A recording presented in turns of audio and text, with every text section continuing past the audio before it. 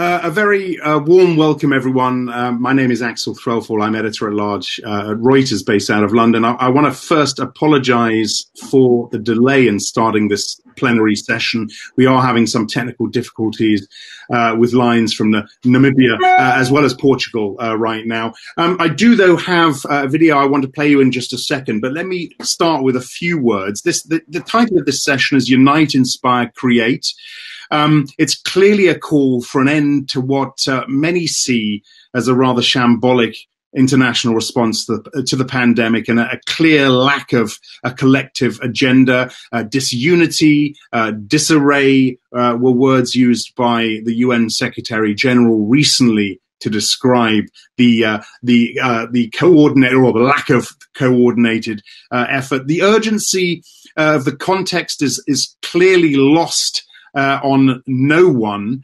So, so this session um, is really about, or was supposed to be about, how the world deals with this as effectively, as efficiently, and as equitably uh, as possible. Collaboration is a word that permeates most conversations uh, about uh, response efforts, but but more often than not, we bemoan the lack of collaboration as, as nations and communities devise their own battle plans. The literature um, for this session speaks of unity, but it also talks of the need for creativity.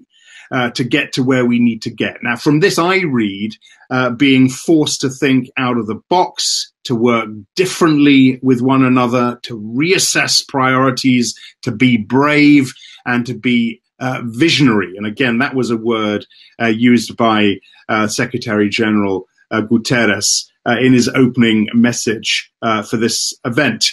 Um, these are, after all, uh, as we say uh, again uh, and again, unprecedented times. In the meantime, I would like to play for you a brief recorded message from Michelle Bachelet, the UN uh, High Commissioner for Human Rights, who was due to jo- join us live but was called away at the very last minute. So let's play that message now.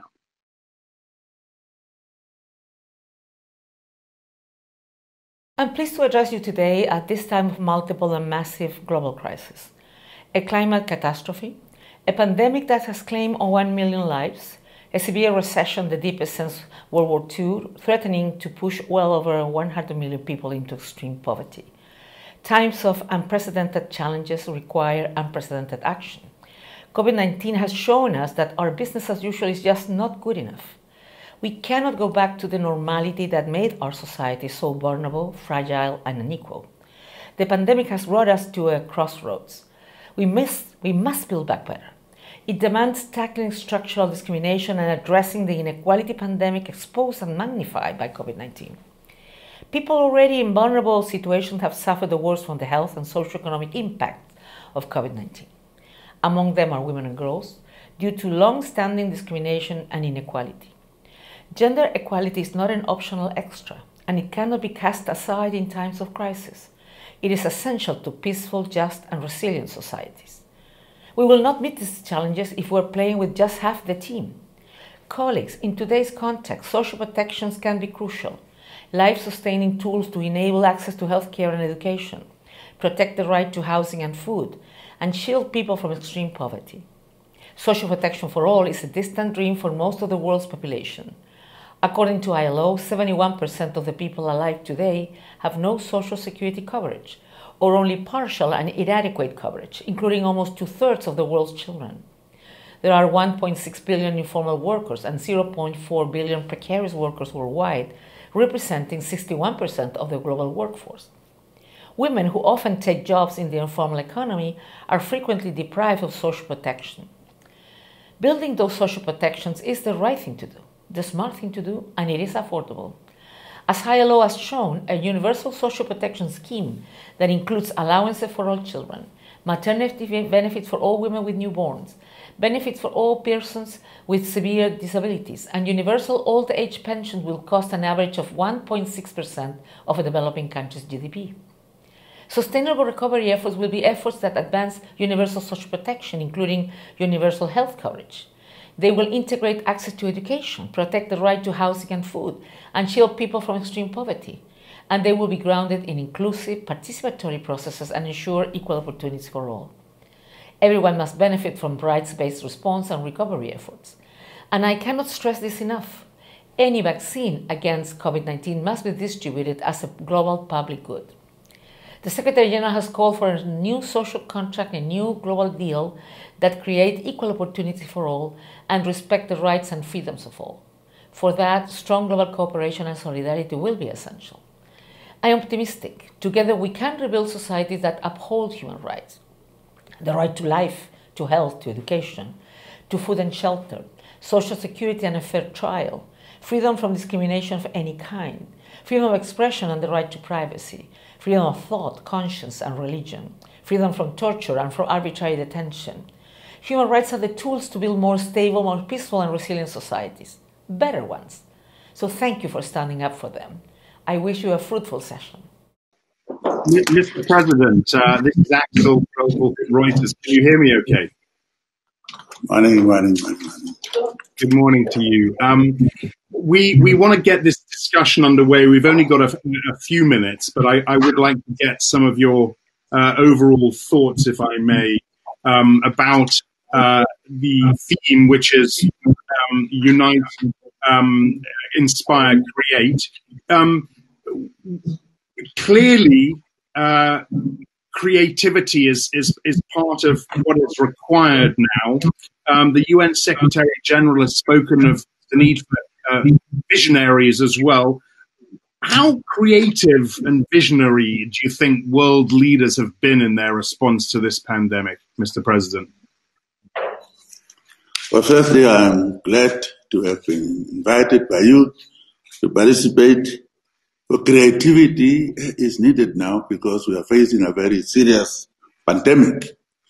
If we are not creative in how we manage our systems, in governance and nation building, by holding actually hold, holding hands to stand as one world community, knowing that some countries are more poor, others are rich, but this disease is not discriminating. It doesn't know boundaries. So we have to be creative in how to help and hold hands one another to address this pandemic. How how how creative do you think you have been, you, Namibia, in your response? Uh, Namibia was was praised, widely praised at the outset for your response to the pandemic. In August, or the end of August, you announced that initial gains were being eroded how creative have you been? How much more creative do you need to be?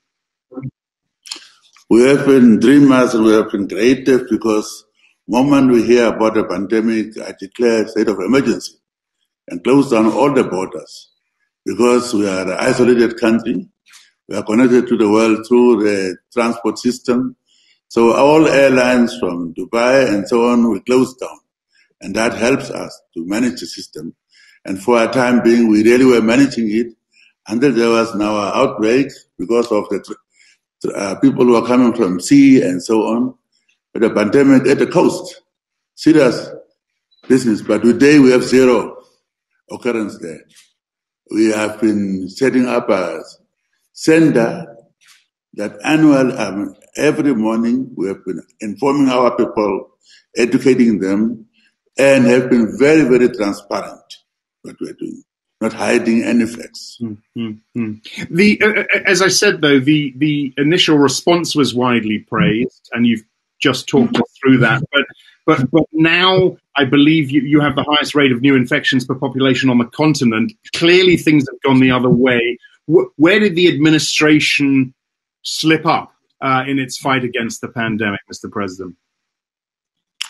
Well, slipping up is a thing that we don't expect, but uh, you know, human beings, uh, the community uh, transmissions, the community transmission in our people, in our poorer people live together so closely. If you have uh, rich people, they have enough space. Houses are big, but our fear was in our uh, rural uh, and also in our townships where people are crowded. We're worried about that and a, and a pandemic in Walvis Bay was not in the white area where rich people are living. It was actually in what we used to call locations. So, but we have managed that too, because we are creative. Mm-hmm. I'm going to come uh, and talk a little more about the domestic situation in a moment, but but back to a, lack of global uh, collaboration and, and, multilateralism. How hard as a leader is it, Mr. President, to coordinate, mobilize an international response when things are so difficult at home for you? And of course, many leaders are facing the same situation. Well, this is a unique situation. We were supposed to have been at the UN now, and we have been doing this virtual kind of communication. And to me, it is working. We are saving money at our homes, but I've been addressing General Assembly from here. I've been addressing other side meetings from here, of Secretary General and all of them.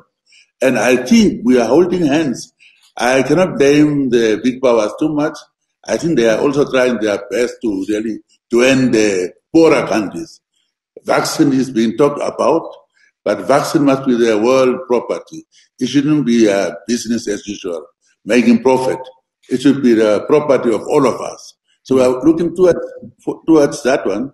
And I think world is really holding hands, let me say that. From what I'm seeing, the world is holding hands. Are you, you uh, uh, from what you're seeing, the world is holding hands. So you sound, Mr. President, um, if I may, sound a lot more optimistic than than the UN Secretary General, than the head of the, the UN uh, Human Rights Commission, um, who, who do not see a world holding hands.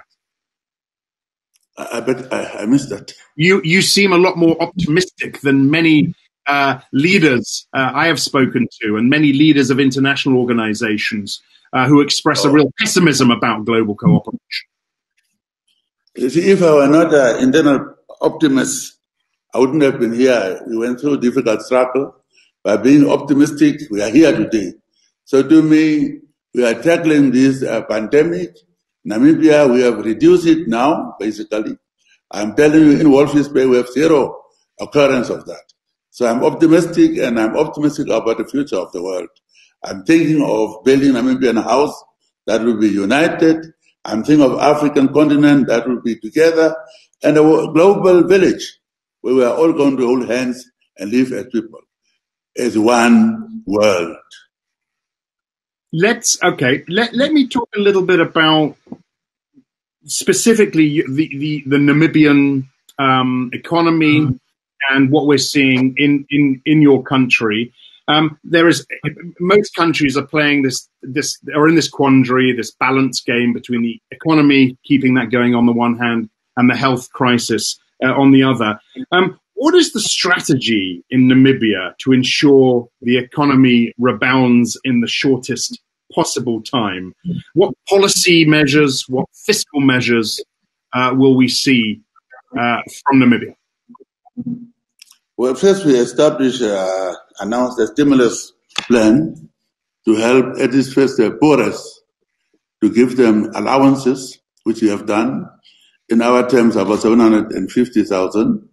And then we are also trying to help the businesses, uh, small and medium enterprises, by trying to also give them financial assistance, but also to provide conducive environment in which we can reopen businesses. Uh, tourism, we have already reopened because that's very important. It's creating jobs. So again, we have already opened up our borders that uh, tourists can come They'll be confined. We check them at the airport. Once we think they are safe, three days and so on, they can go and be confined in a tourism area. That we're already opening up, creating jobs, again, which has been lost and so on. Mm. Again, also good governance. We're talking about good governance, dealing with corruption, dealing with actually uh, inclusivity. You know, we are coming from a apartheid background, so I believe in the world also. Inclusivity spells harmony. Exclusivity spells conflict. So even if you are in Portugal or so on, and one of us here in this corner will be excluded, eventually we are forming, creating conflict. So I think in unified Namibia, unified world, unified Africa, if I may, though, pick you up on a couple of the things you've mentioned. You you, you talk about tourism coming back. It, it seems to me, and, and, correct me if I'm wrong here, but there is still a lot of con- confusion around Namibia's international tourism revival mm-hmm. initiative.